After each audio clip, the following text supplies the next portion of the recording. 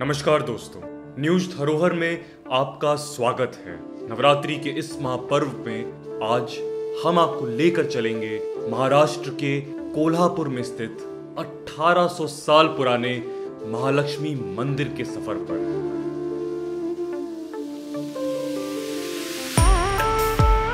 महालक्ष्मी का ये मंदिर भारत की भव्यता को दर्शाता है। महालक्ष्मी मंदिर के बारे में कहा जाता है कि इस मंदिर की चारों दिशाओं में एक एक दरवाज़ा मौजूद है। और मंदिर का दावा है कि मंदिर में ठीक ठीक कितने खंबे मौजूद हैं, इसे आज तक कोई नहीं गिन पाया।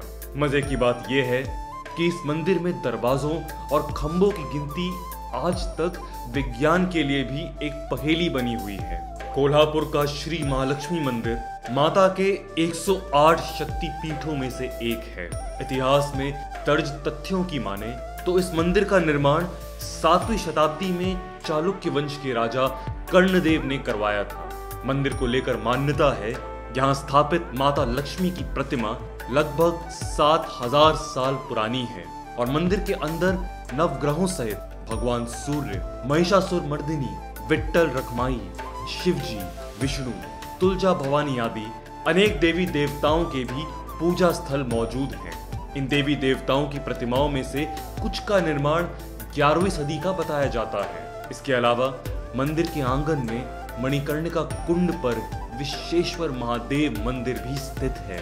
यहाँ एक काले पत्थर के मंच पर देवी महालक्ष्मी की चार हाथों वाली मूर्ति सिर पर मुकुट पहने हुए स्थापित है। माता की प्रतिमा को बहुमूल्य गहनों से सजाया गया है। उनका मुकुट भी लगभग 40 किलोग्राम वज़न का है, जो बेश कीमती रत्नों से मड़ा हुआ है। काले पत्थर से निर्मित महालक्ष्मी की प्रतिमा की ऊंचाई करीब तीन फीट है। मंदिर की एक दीवार पर श्री यंत्र पत्थर पर उकेरा गया है।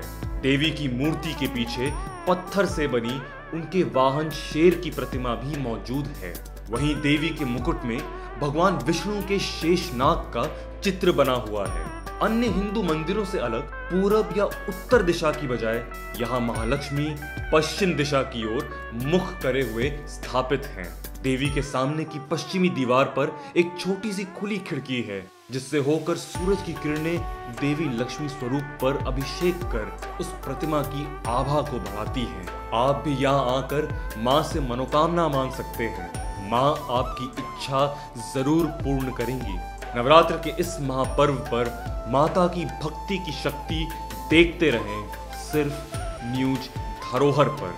आप हमें कमेंट कर दें अपने सुझाव और बताएँ कैसा लगा आपको ये वीडियो। अगर आप हमें फेसबुक पर देख रहे हैं तो हमारे पेज को फॉलो करें और यूट्यूब पर देख रहे हैं तो हमारे चैनल को सब्सक्राइब करें और बेल आइकन दबाना ना भूलें। वीडियो को लाइक करें और शेयर करें।